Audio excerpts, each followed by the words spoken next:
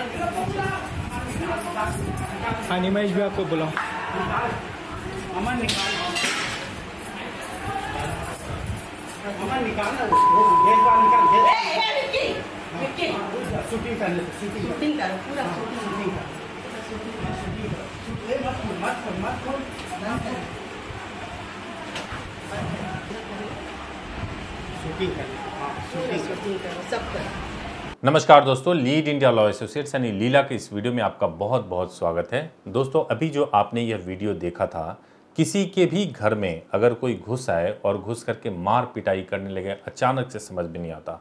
अक्सर ऐसा होता है कि जो भी पड़ोसी होते हैं, आपस में झगड़ा या कोई रंजिश चल रहा होता है तो उसमें उस वक्त आपको समझ में नहीं आता, क्रॉस एफआईआर भी हो जाता है। अगर आप ऐसे किसी सिचुएशन का सामना कर रहे हैं या आपको ऐसी कोई आशंक आशंका भी है नहीं भी आशंका है तो वीडियो को ज़रूर देखिए, क्योंकि ये सिचुएशन कभी भी आपके सामने या आपके दोस्तों के सामने आता है तो ज़रूरी होता है कि आप भी सुझाव दें।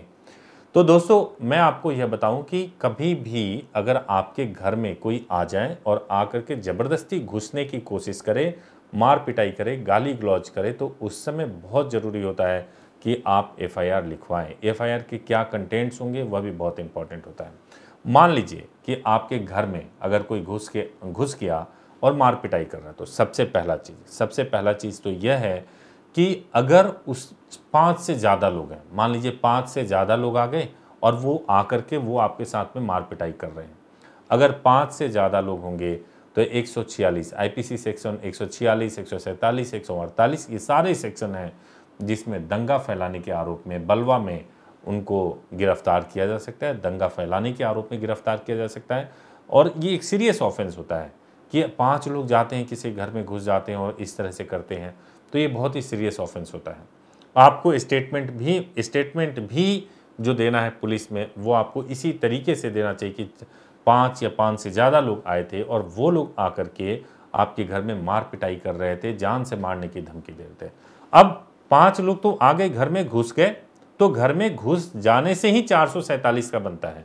वो ट्रेस पासिंग का कि क्रिमिनल ट्रेस पासिंग उसने किया है यानी कि बिना परमिशन लिए किसी के घर में घुस जाना और किसी अपराध के अंजाम के इंटेंशन से जाना यानी कि चार सौ सैंतालीस उस पर लग जाएगा। अगर आ करके उन्होंने धमकी दिया धम और, और बड़ा ही उत्पात बहुत ही उत्पात मचाया बहुत ही गलत गलत किस्म का सिचुएशन क्रिएट हो गया दंगा फैलाने का लग जाएगा। अगर इसके अलावा वो आकर के हाँ, लाठी डंडे का इस्तेमाल करते हैं गंभीर रूप से जख्मी कर देते हैं 323, 324, 325, 326 ये सारे सेक्शन लगेंगे।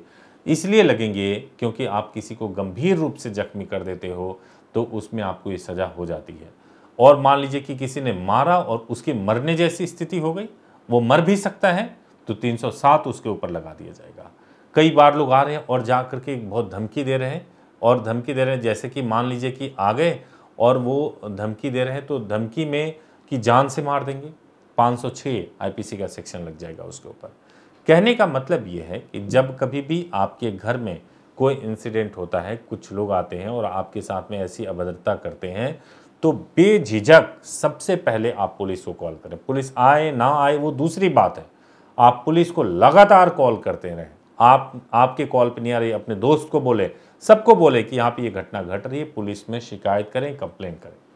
और उसके बाद से अगर बात होने लगे कि हम कॉम्प्रोमाइज़ कर लेंगे, किसी तरह से सेटल कर लेते हैं, बावजूद इसके आपको एफआईआर ज़रूर रजिस्टर्ड कराना चाहिए। क्योंकि आप एक बार एफआईआर रजिस्टर्ड कराओगे, तभी वो एफआईआर रजिस्टर्ड होने के बाद भी कॉम्प्रोमाइज़ हो सकता है। आपको ज़रूर एफआईआर रजिस्टर्ड करना चाहिए।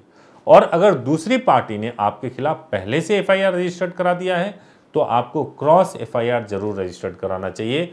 अगर घटना आपके साथ भी घटी हुई है, अगर आपको भी चोट लगी है, आपके साथ भी मार पिटाई हुई है, जैसे कुछ पाँच छः सात लोग गए, साधारण बातचीत करने के लिए गए और वहाँ से वो लाठी डंडे से आपके ऊपर अटैक कर दें तो उस समय आप भी क्रॉस एफआईआर कर सकते हैं और ज़रूर आपको एफआईआर रजिस्टर्ड कराना चाहिए। अब कई लोग सोचते हैं उसने पुलिस को खिला पिला दिया और पता नहीं किस तरीके से मामला चलेगा। और ये लगता रहता है, मुद्दा ये नहीं है कि पुलिस को खिलाया, पिलाया, किसको छोड़ देंगे, किसको बरी कर देंगे। जैसे एफआईआर रजिस्टर्ड हो जाएगा, उसके बाद से मामला कोर्ट में जाएगा और जब कोर्ट में यह मामला जाएगा, उस टाइम पे निश्चित रूप से जब जिस तरह के सेक्शन होंगे, उसमें ट्रायल होंगे, उसमें पुलिस की भूमिका कम हो जाती है, कोर्ट की भूमिका बहुत ज़्यादा हो जाती है। और वहाँ पे अगर कम गंभीर सेक्शन में अगर एफआईआर हुआ होगा तो दोनों पार्टी अगर चाहेंगे तो कॉम्प्रोमाइज़ भी हो जाएगा। अगर कंपाउंडेबल ऑफेंस होगा तो कॉम्प्रोमाइज़ भी हो जाएगा। तो यदि आपके घर में कोई घुसता है, मार पिटाई करता है, महिलाओं के साथ छिड़कानी करता है, या कपड़े फाड़ता है, या कुछ भी ऐसा करता है तो आपको निश्चित रूप से जो सेक्शन बताएँ, उन सेक्शन का ध्यान रखिए। नहीं समझ आ रहा है तो कॉल कर लीजिए। और ये भी नहीं समझ में आ रहा है, अगर आप फंस चुके हैं, एफआईआर हो चुका है तो आप अगर एडवोकेट की हेल्प लेना चाहते हैं तो कॉल कर लीजिए हमारे हेल्पलाइन नंबर पे double eight double zero triple four triple five पे Monday to Saturday ten AM to six P M हम आपकी निश्चित रूप से सहायता करेंगे और आपकी इस परेशानी से बाहर निकालने का पूरा प्रयास करेंगे। वीडियो अगर अच्छा लगे तो इसको ज़रूर लाइक कीजिएगा चैनल को सब्सक्राइब कीजिएगा। बहुत बहुत धन्यवाद।